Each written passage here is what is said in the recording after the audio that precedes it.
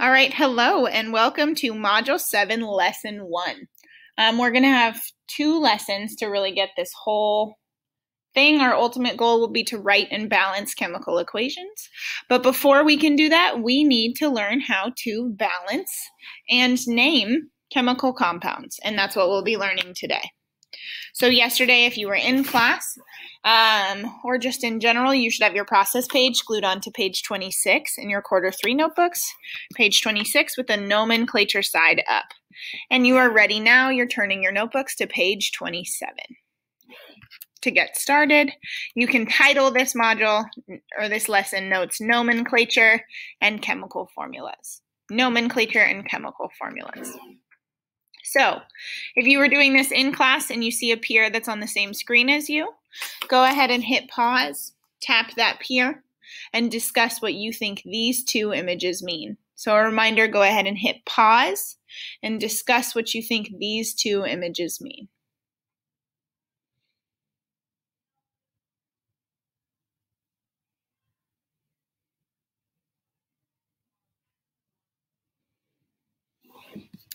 All right.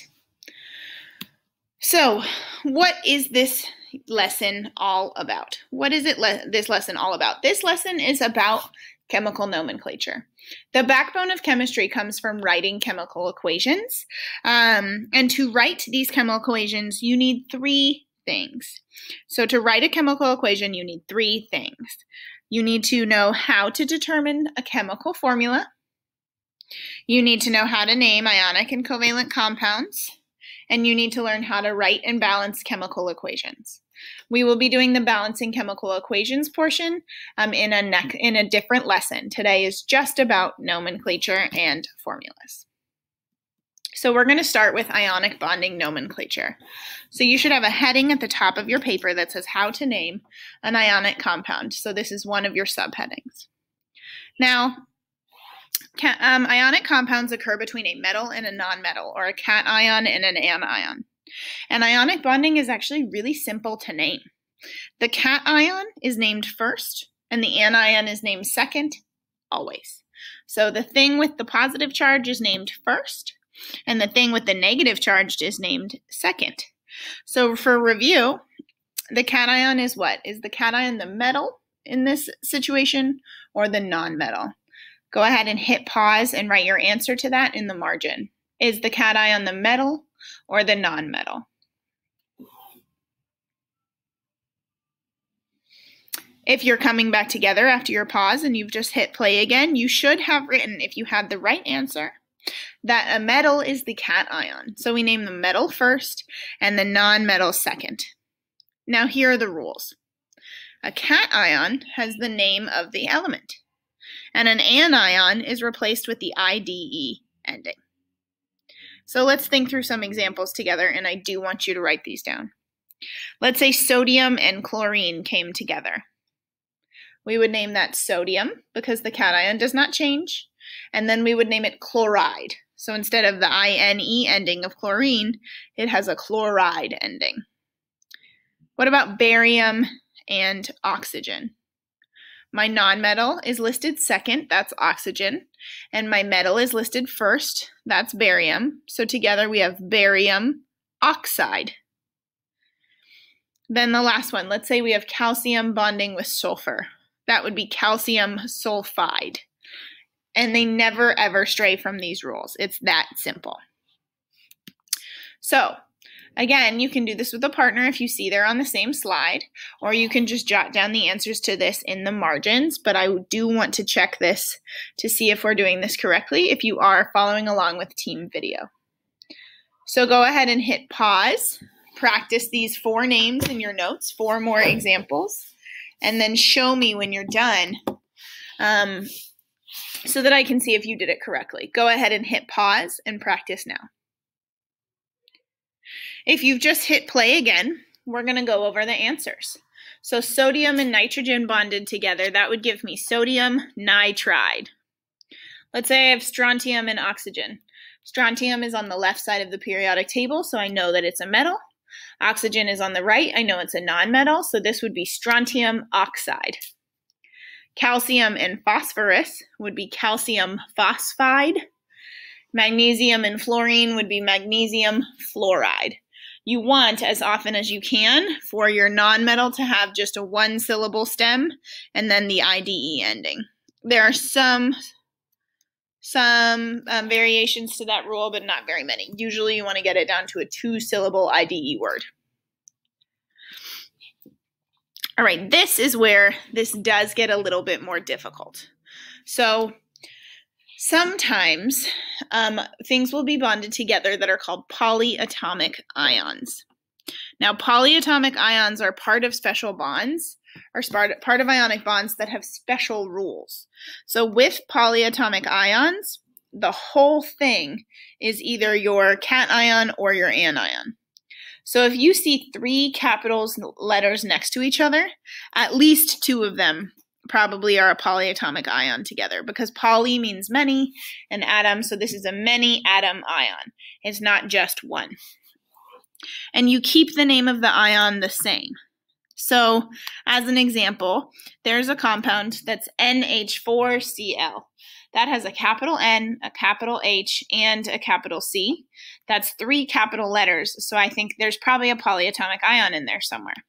So let's see if I can find an NH4 um, or a, or an H4Cl on this list. Let's see what we got. Is it going to be our cation or our anion? Now I'm reviewing this table. I see an NH4. And so that's name is ammonium. And then the Cl is the second thing listed, so that's going to be chlorine. So that whole compound will be ammonium chloride. Um, let's say I have NaNO3. That's again capital letters. So if I have NO3 and I find it on this list, NO3 is nitrate and Na is sodium. So that's going to be sodium nitrate. So, using the table in your process page, go ahead right now and try these three, writing them in your notes, but don't forget to hit pause. If you're coming back together and you've just hit play again, let's name these. NaNO2, that is sodium nitrite. Hydrogen sulfate is the second one. And then I have K is my cation and MnO4 is my polyatomic. So this one is potassium permanganate. Potassium permanganate. Give yourself a star on all of the ones that you did get right. Our next section of nomenclature is for covalent bonding. Covalent bonding. So, Covalent bonding is named almost the same as ionic bonding, but it does have one change. Covalent bonding uses the subscripts to create a title. So these are Greek prefixes mono, di, tri, tetra, penta, hexa, hepta, octa, nona, and deca. The small numbers you see on either side um, are called subscripts in a formula, and that helps create it. We do not put a prefix on the first atom if and only if there's one of it. So let's say I have a, for, a, a compound CO. So that there's CO has no subscripts, which means there's one of C and one of O. So that means I would have carbon monoxide but I don't call it monocarbon monoxide because if there's one in the first element, you don't put the mono, but you do for the second. Um, so CO2 is another example.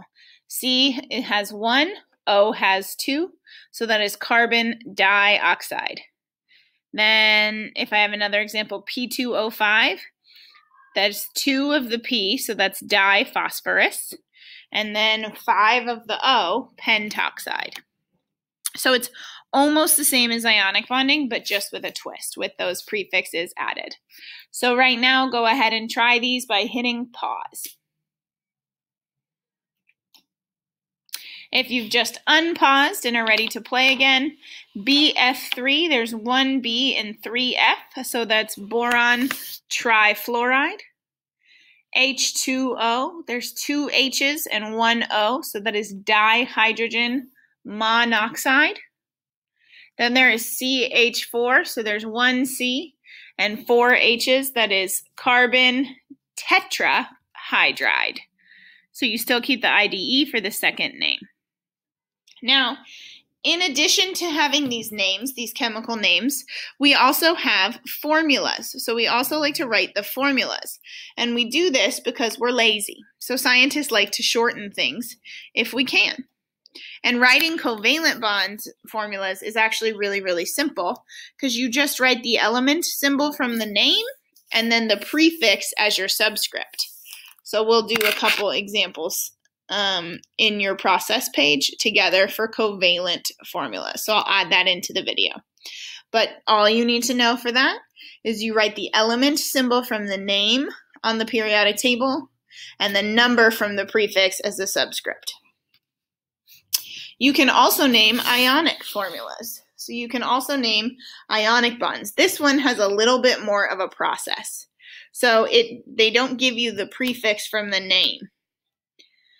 This one you actually have to figure it out. So there are a few steps. So the steps to write ionic formulas are as follows. Number one, write out the element symbols given from the name. So if I'm writing sodium chloride, then I'm going to write Na for sodium and Cl for chlorine. And then you have to find the charges on each using the periodic table, which you find from the valence electrons. So that means you look at the group number. So group one has one valence electron. So they will lose one valence electron. So their charge is plus one. That's also a really good thing is to write the charges on your annotated periodic table. So you have that for our next platinum. Um, and then you switch the charges using the crisscross method. So step one, write out the elements given from the name. Step two, find the charges of those elements. Step three, switch them using the crisscross method. And step four, write them as subscripts. So again, we'll do a bunch of examples of that on the board. And the, the, the system is the same. The crisscross method is the same for polyatomic ions, um, but you have to use parentheses. So um, you have to keep the polyatomic ion whole, which is one of the most difficult parts. So it can be helpful to replace a polyatomic ion with the letter X until you finish crisscrossing. Um, and then you will use parentheses with them if you need to um, to get the smallest possible formula. And you always, always, always reduce. So again, we're going to do this whole process page together and we can also um, do more examples of naming these things because it is slightly more difficult. So at this point, um, go ahead and flip to your process page. We're going to do these examples together.